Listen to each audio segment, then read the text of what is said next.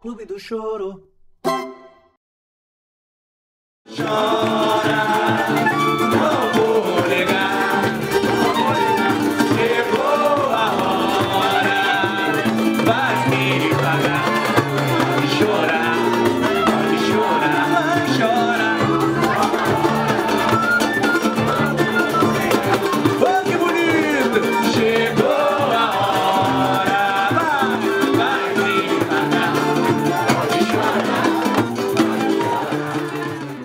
Ah, je connais bien le choro, j'aime beaucoup le choro et je trouve que c'est une musique très vivante, très vivante de partage.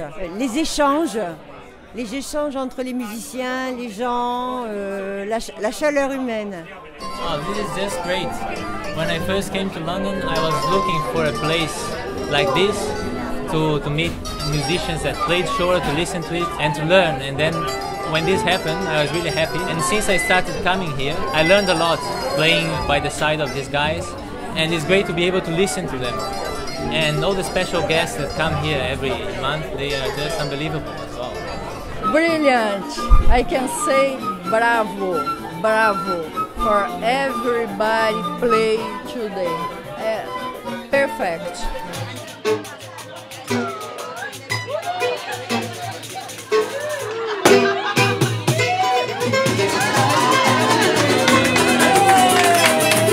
J'ai beaucoup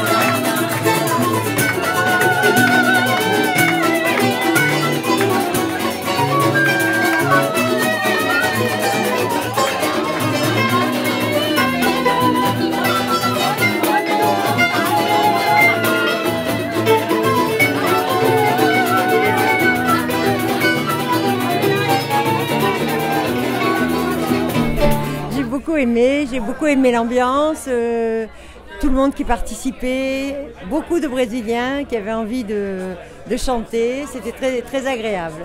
Like, you know, I should, you know, clap for you, you know, because you guys make lots of things possible this year for Clube do Choro UK, you know.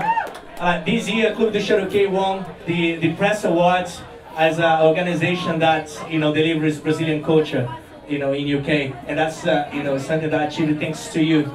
Thank you so much for that. Yeah, so I'd like to, you know, thanks to you. Well, I love Brazil. I love everything about Brazil, but I've never been to a Brazilian place here. But I think it's great because there's quite a lot of Brazilian things going on in London. There's a lot of Brazilians living in London. Yeah, I'm really interested.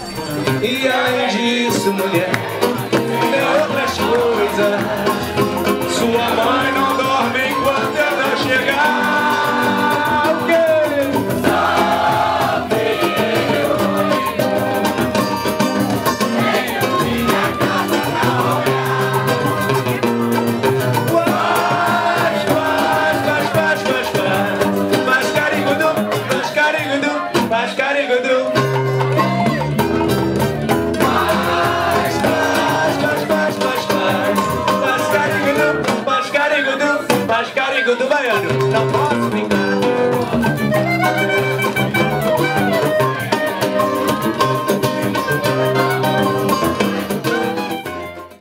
very important because this music is very, very Brazilian music. And here in London, it's important we show for everybody Brazil have a special music. Well, I think here in London is a perfect moment for this. Clube do Choro is special music.